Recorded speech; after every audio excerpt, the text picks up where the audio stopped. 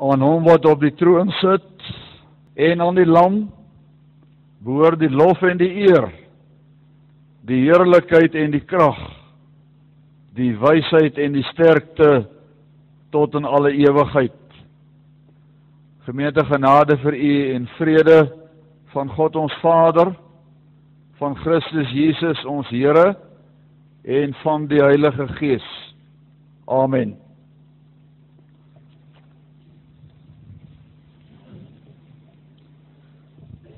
Ons sing tot lof van de Heere. Gesang 1, 6, 9 en daarvan versen 1, 2 en 3. Ik hou aan u voor vers 1. Heilig, heilig, heilig Heer, God Almachtig. Groot is uw troon, u is steeds met lof omringd. Heilig, heilig, heilig, liefderijk genadig. Uw troon is steeds met lucht en lof omringd.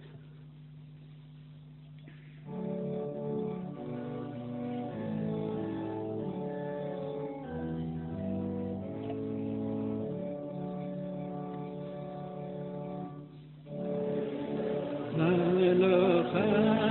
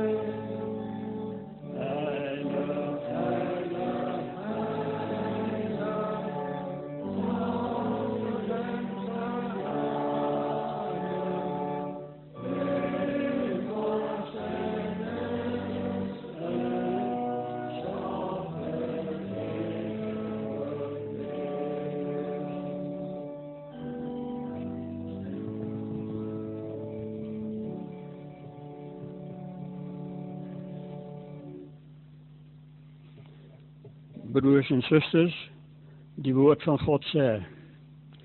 Mijn overtredingen ken ik en van mijn zonde blijf ik altijd bewust. En dit kan ons alleen ontdekken als we met alle ernst ons leven meert aan Gods wet.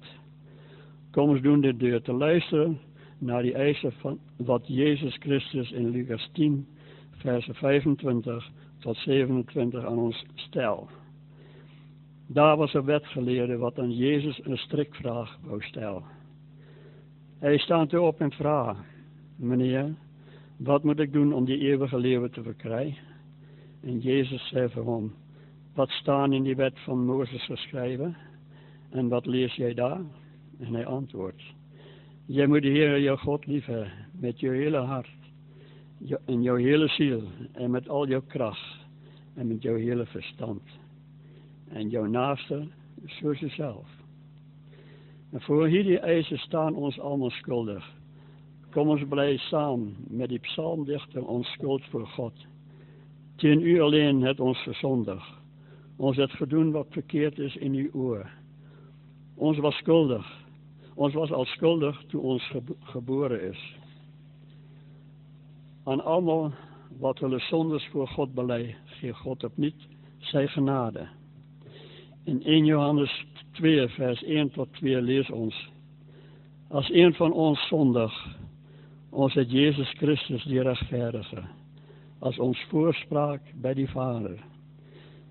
Hy is die verzoening vir ons sondes en nie net vir ons sondes nie, maar ook vir die sondes van die hele wêreld. Almal wat met God versoen is, hulle geloof in die drie-enige God. Kom ons bely staande ons geloof saam met die kerk van alle eeue.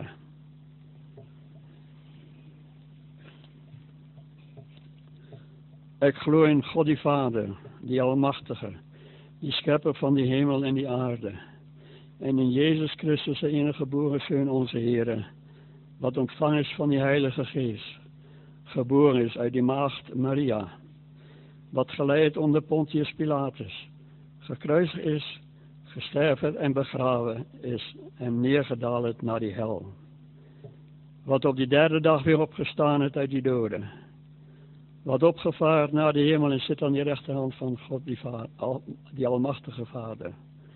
Van waar hij zal komen om te oordelen. Die wat nog leven en die wat reeds gesterven. Ik geloof in die Heilige Geest. Ik geloof aan de heilige, algemene, christelijke kerk. Die gemeenschap van die heiligers. Die vergeving van zondes. Die opstanding van die vlees. En een eeuwige leven. Amen. Gemeente, kom eens dank God ook nou voor die verlossing, wat Hij ons in Jezus Christus gegeerd. Kom ons zing gezang 215, versen 1, 2 en 5. Ik hou aan die voor vers 1. We zingen die lof van Jezus samen, ook, ook engelen brengen hem eer. Juich hemel aarde, roem zijn naam en dien hem volg hem, loof hem, Christus is de Heer.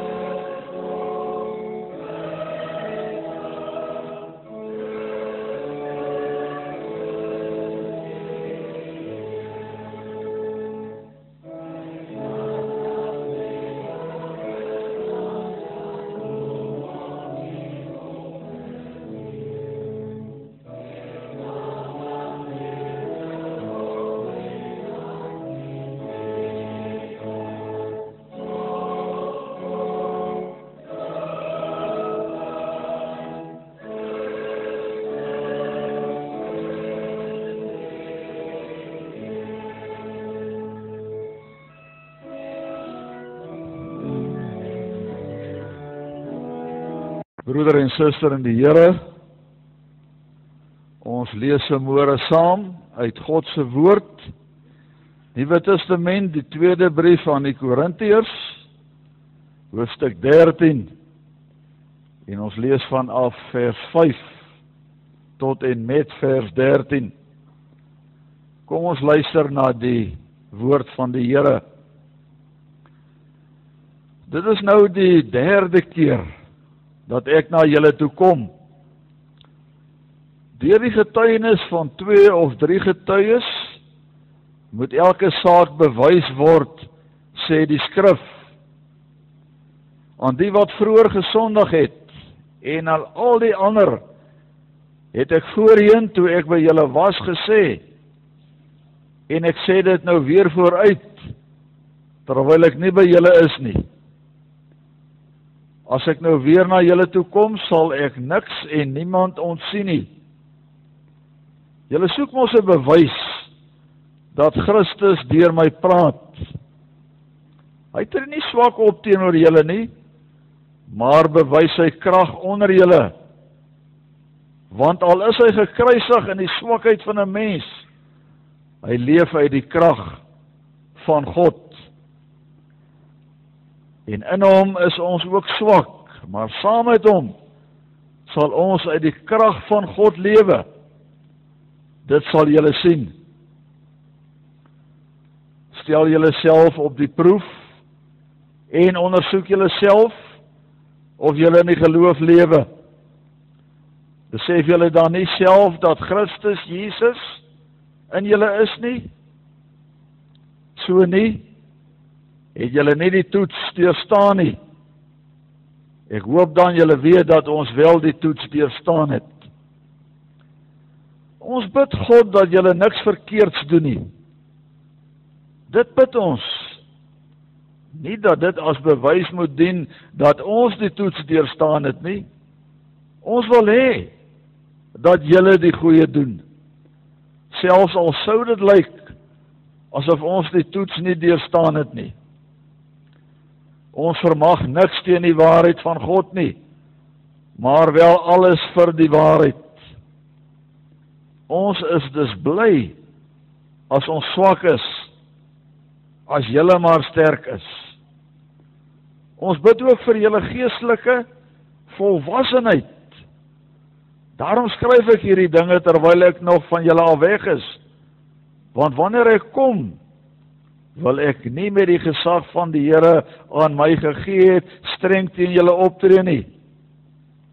Met die gesag moet ek opbou, nie afbreek nie. Verder broers, wees bly. Streef na die geestelike volwassenheid. Aanvaar vermaaning. Wees eensgesind leef in vrede. En die God van liefde en vrede sal by julle wees. Groet mekaar met die soen van Christelike broederskap. Almal wat aan die Here behoort, stuur vir julle groete. Die genade van die Here Jesus Christus en die liefde van God en die gemeenskap van die Heilige Gees sal by julle almal wees. Ons is dit tot sover vermoere ons skriflesing. Mag elkeen van julle wat die woord gehoor het en geluister het, dit ook in julle hart bewaar en daarna lewe. Kom ons bid nou saam.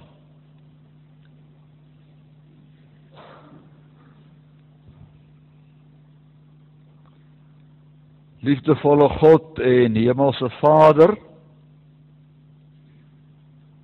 Andermaal wil ons as gemeente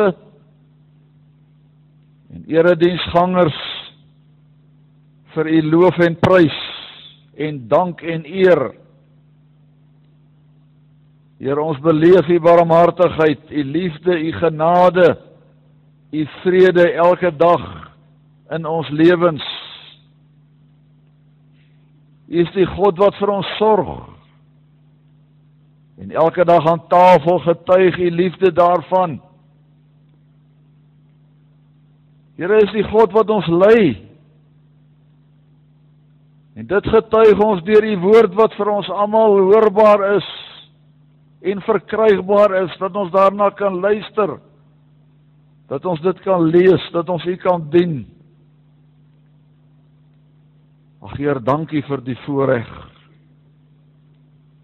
As dit so stil word onder ons hier in die oggenduur. En ons weet U is hier teenwoordig deur U Gees. U is met ons. Ons is U kinders. U is ons Vader. Ons loof en prys U groot en heilige naam.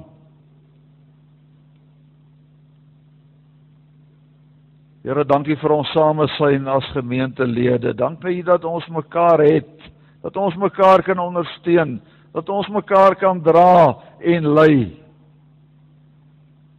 As ons nou na u woord luister, open dit vir ons.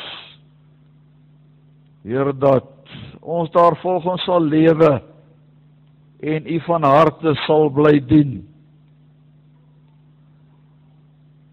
Vader, saam met al die gelowiges wil ons graag vanmôre na U toe kom. Ons sondes bely. Here en vra Wees ons genadig in Jesus naam. Moenie toereken wat so in ons wil teen ons aankleef. Here, die sondes wat ons bly doen nie. Die hardheid van hart en die liefdeloosheid wat ons steeds openbaar. Nee, Heer, vergewe alles wat tussen U en ons ontstaan. Ons vra Wees ons genadig ook, Heer, wat ons land betref. Dit is so bitter droog. Dit is warm. Here stuur vir ons u seëninge van bo. Ag Here maak ons aarde nat met u goeie gawes. Heer ons verdien dit nie, maar ons pleit ons vra. Moet ons nie oorslaan nie, gaan ons nie verby nie. Wees ons genadig en liefde en gee ook vir mense en dier uitkoms. Ag Here seën ook ons land. Ons volk, sy mense. Here die owerheid dra ons in besonder aan U op. Here bekeer hulle na U toe. Laat hulle U dien, laat hulle U wette volg. Laat hulle ons regeer volg ons U woord. Here in ons land is baie haat, nait, doodslag, moord, diefstal. Laat die vrede van Christus in ons harte heers. Ons bid so in Jesus naam, ons Here en ons verlosser. Amen.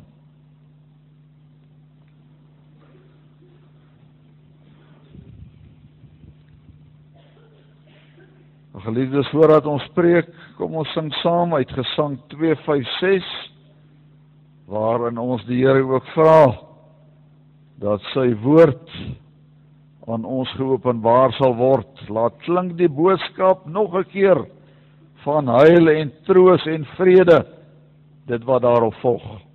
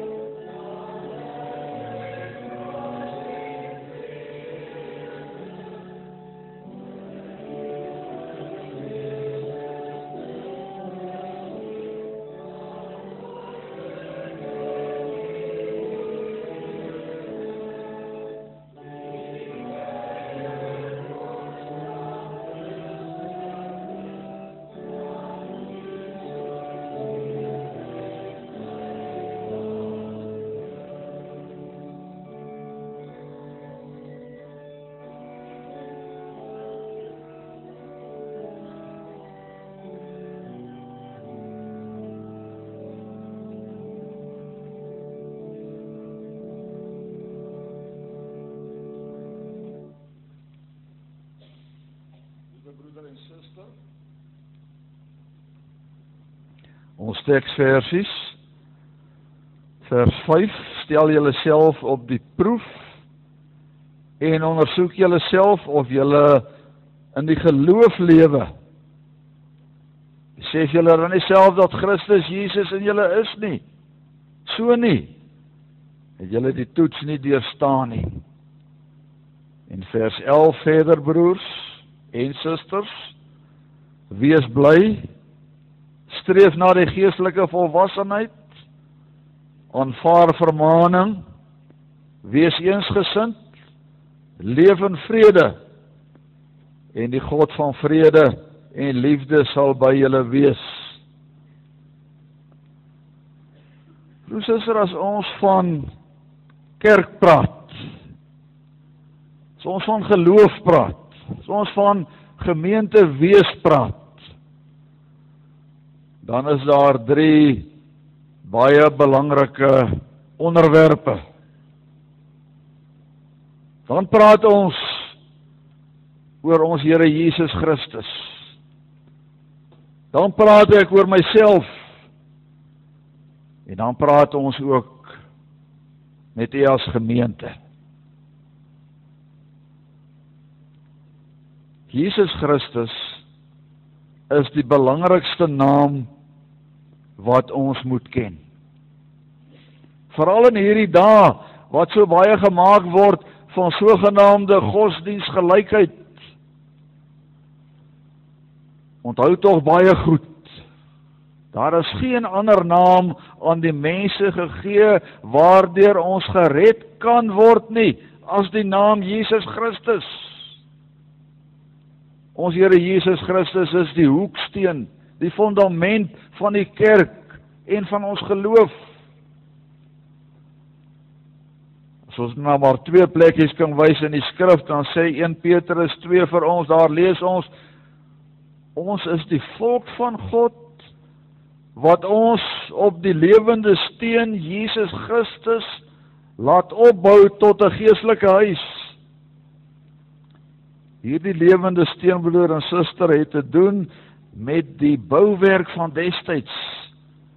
'n Baie groot klip is gesoek om as die hoekklip te dien, nie die hoeksteen wat ons ken by die kerk waarop name staan nie, maar wat eintlik die hele fondasie in stand hou. Christus is die gelowige, die kerk se hoekklip waarop ons ons as lewende stene laat opbou. En in 1 Korintiërs 3 skryf Paulus Christus is die fundament van die kerk. Daar kan geen ander fundament gelê word as Jesus Christus nie. Jy kan sien as ons oor geloof praat, oor kerk praat, oor gemeente wees praat, kan ons dit nooit doen sonder om oor Jesus Christus te praat nie. 'n kerk sonder Christus, 'n gemeente sonder Christus is 'n vereniging. Dis 'n beweging wat al goeie dinge kan doen soos die Rotariërs of Volksop 2000 of artikel 21 maatskappye. Maar ons ontstaan is te danke aan Jesus Christus en ons bestaan is op Jesus Christus gerig. Gelowiges leef en bestaan op grond van Jesus Christus se soenverdienste. Ons ontvang verlossing. En deur verlossing ontvang ons vergifnis. En deur vergifnis ontvang ons die vrede by God. Dit beteken God is nie vir ons meer kwaad as gevolg van ons sondes nie. Ons is nou sy kinders. En ons leef verder op grond van Jesus se opstanding, deur sy opstanding. Ontvang ek die ewige lewe en leef ek my ewige toekoms binne. Broers en susters, dis nou hier waar ons, u en ek in die prentjie kom. Want Jesus Christus se verzoening is vir my en vir u. In die Heidelbergse Katekisme Sondag 14 vers 36 lees ons so mooi: Jesus sterf nie net vir die sondes van ander mense nie, maar ook vir myne. Dis vir my. Dis vir ons, dis vir een ek wat volkome bedek word deur sy bloed. En ek ontvang dit as ek dit glo.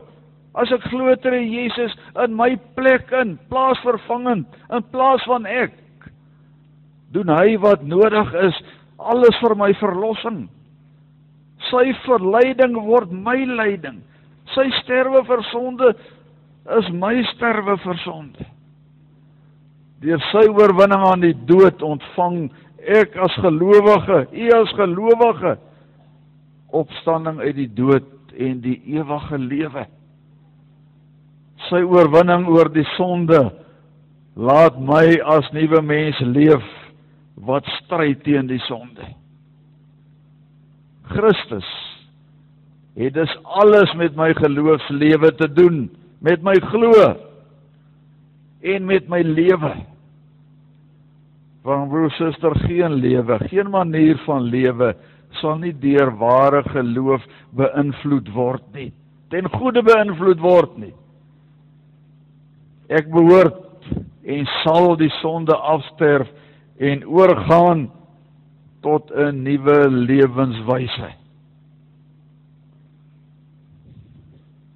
In die geloof veranker in Jesus Christus volg ek hom, vertrou ek hom, gehoorsaam ek hom. Elke erediens is 'n aansporing, 'n motivering, 'n oproep om te volhard in die geloof en die sonde af te sterf. Elke erediens is in die woorde van ons tekste op die proef stel. 'n Ondersoek, 'n nadink, 'n stil staan op my lewenspad, 'n afvra aan myself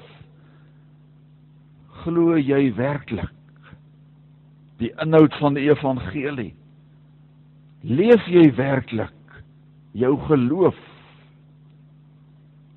Professor hierdie ondersoek gaan my tekortkomings, my sondaarskap, my sonde uitwys.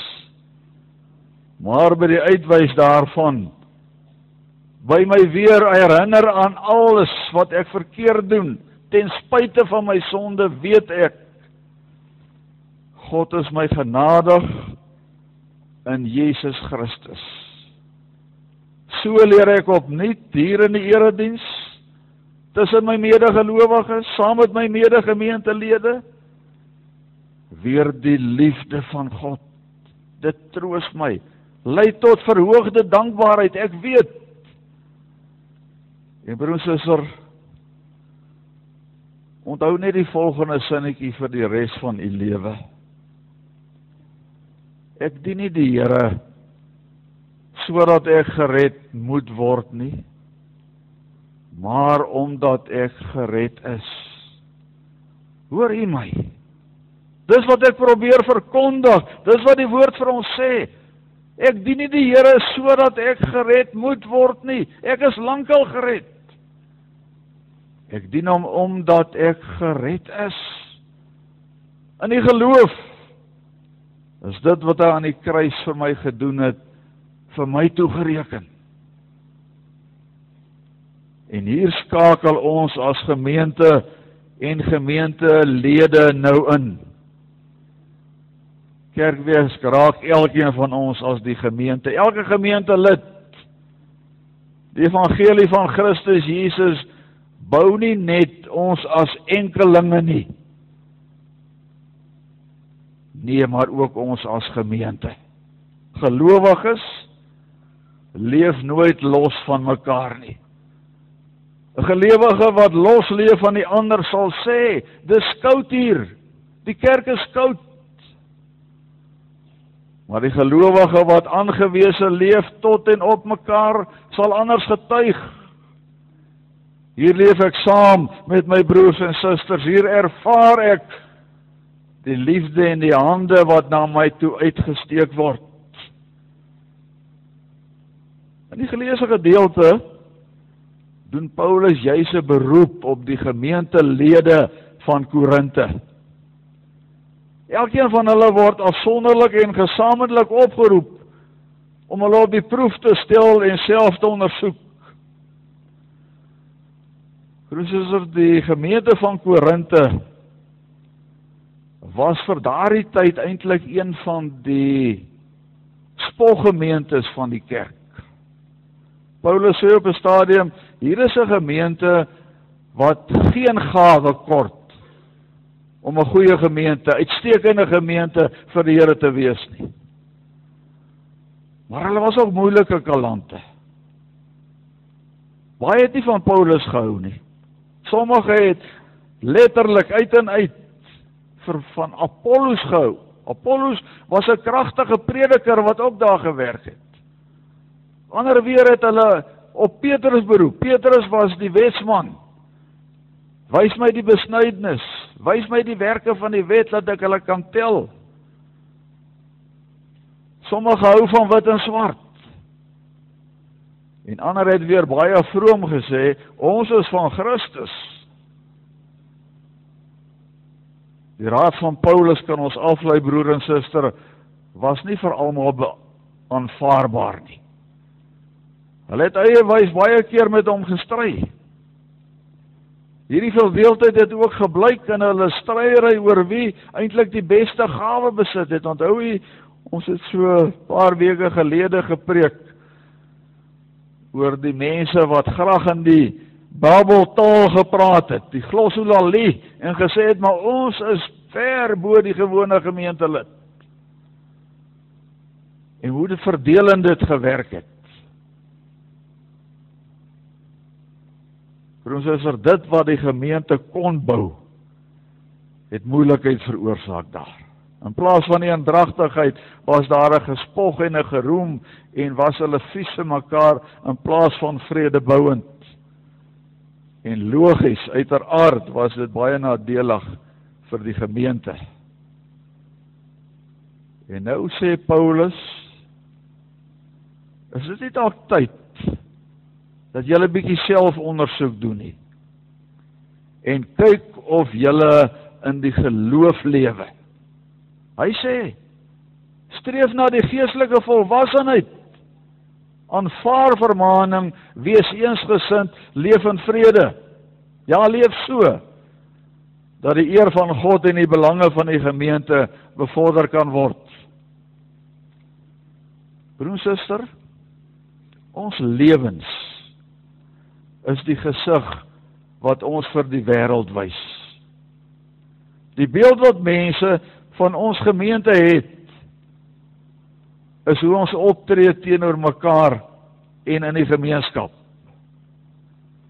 As Christus se eer en belange ondergeskik is aan ons belange en eer, dan sal gelowiges hier ontuis voel. As die woord van die Here nie hier weer klink nie, sal mense dit op 'n ander plek gaan soek. Net soos die gemeentelike lewe so belangrik. Die gemeente is die plek waar ons geloof gesterk word. Ons verhouding teenoor mekaar is belangrik. Paulus sê: Leef in vrede met mekaar, vriendelik, geesgesind. As ons onder mekaar stry, soos daar in Korinte, dan word daar nie meer na buite toe gestry nie, maar net na binne. En dan veg ons nie meer daar in die wêreld waar die Christelike grense moet bewaak en gehandhaaf word nie.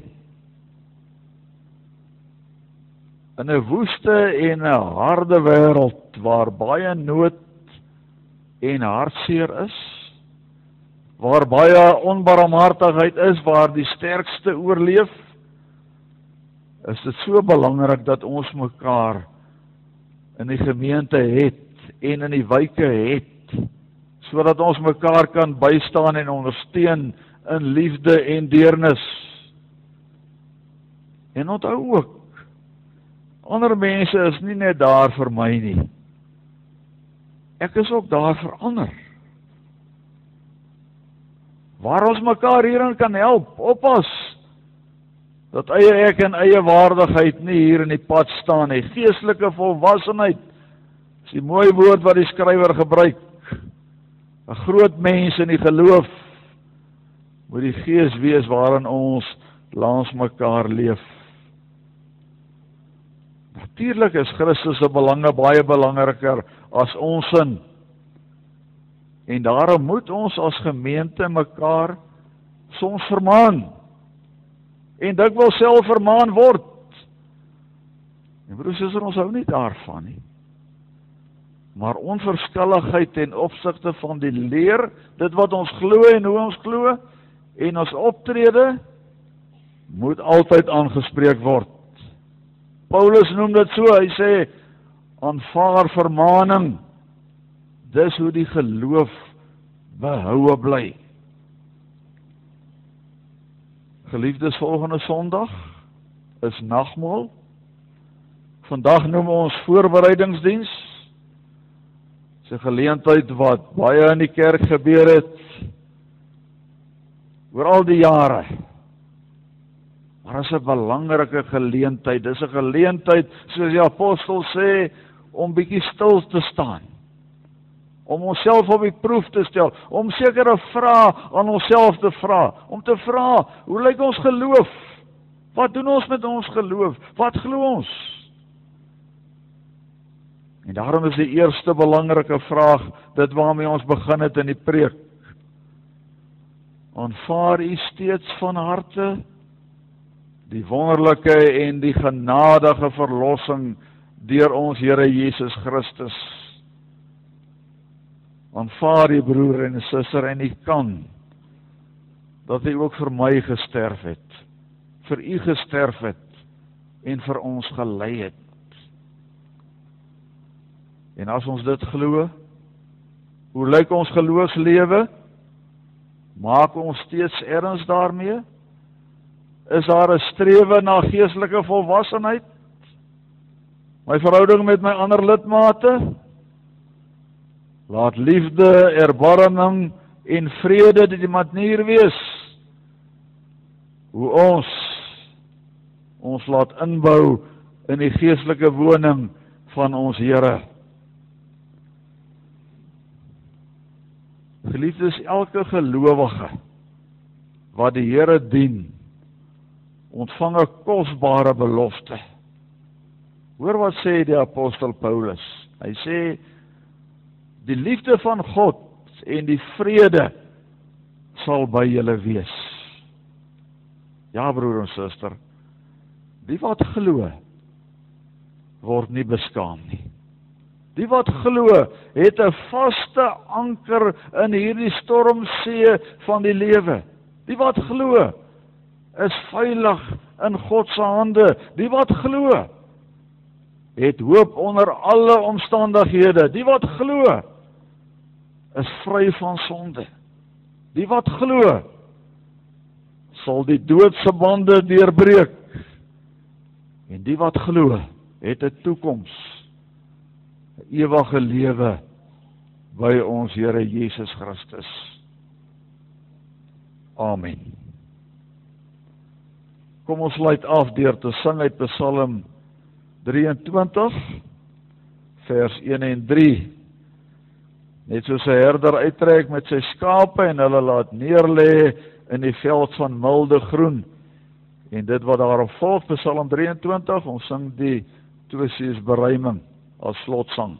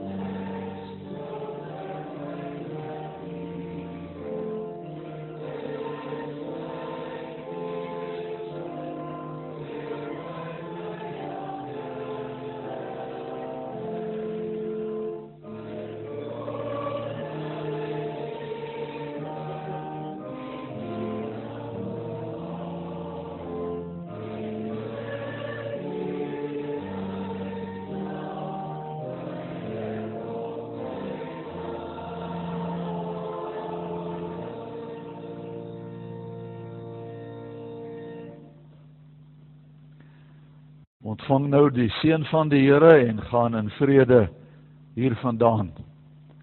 Die liefde van God, die genade van ons Here Jesus Christus en die gemeenskap van die Heilige Gees bly by u almal. Amen.